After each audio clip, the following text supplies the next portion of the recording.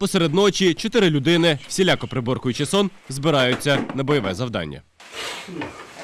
Раніше це був мінометний розрахунок 21-го окремого батальйону президентської бригади ЗСУ, але з сьогоднішньої ночі вони не мінометники. Сергій командир розрахунку з незвичної професії, бібліотекар з вищою профільною освітою. Книжки це чудове джерело здобуття знань, відпочинку, фантазії, не знаю, якихось ескапізму. Сергій легко цитує класиків і кінофільми, What a story, Mark. Це цитата із е, фільму The Room. і цим добряче розряджує атмосферу. Він воював до повномасштабного вторгнення з перших тижнів війни. Знову опинився в ЗСУ. Знаєте, я тут, вже так довго, що ті рушії, е, сильні рушії, які колись е, штовхали мене а, йти до війська, ну зараз вони, мабуть, замінились на о, тим, що треба. Просто ну, типу, тим, що треба, і а, назад дороги немає.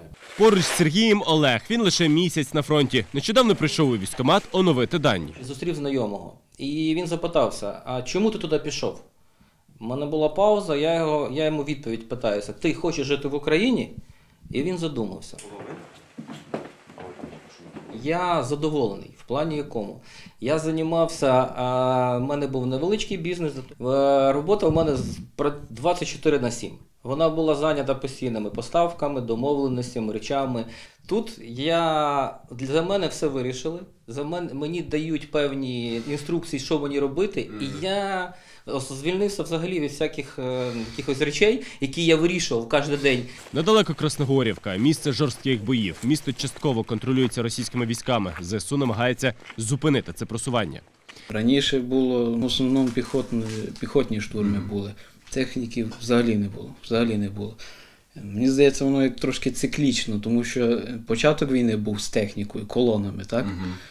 Потім воно десь е, ну, перейшло в більш піхотну, піхотні штурми, і тепер знову пішла техніка.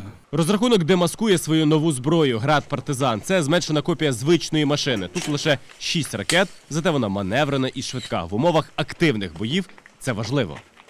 Лешка, перехвачу.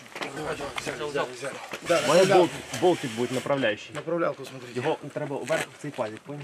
Це перший виїзд розрахунку на цій машині. Солдати вчаться на ходу. Не загнали, а? Серега, держи меня. Давай. Пошел, поехали. Есть. Раз, два, три. Короткий інструктаж і на бойову позицію. Сергій дещо нервує і починає цитувати нещодавно переглянутий фільм. Йому дзвонить начальник, і цей же бере трубку, а він там відпочиває з дівчиною. Типу, він знімає трубку, типу йому каже, там, типу, що є робота. І дівчина така каже, What you gotta do? А він такий, My job. На бойову позицію розрахунок приїжджає на сході сонця. Взагалі, початок нового дня це найактивніший період для ведення бойових дій. Ціль скупчення живої сили. Втомилися?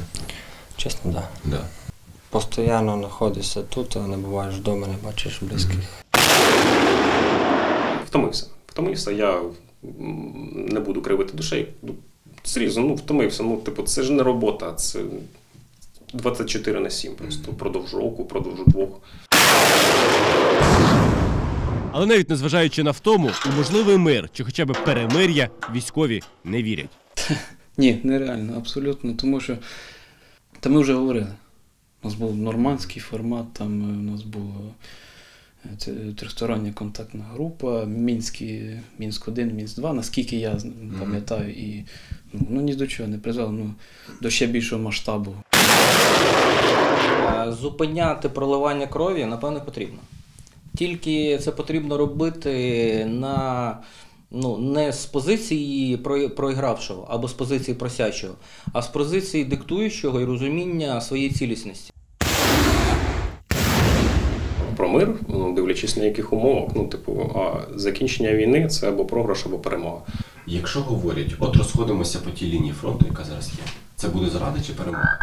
Ну, більше зрада, ніж перемога. Шість снарядів і розрахунок згортається додому. На відпочинок світловий день. Вночі знову буде робота. Десяточку. Десяточку? Я вважаю, що це було чудово. Все. По машина! Борис Сергій Декун та Андрій Устінкін для Радіо Свобода. Корчі.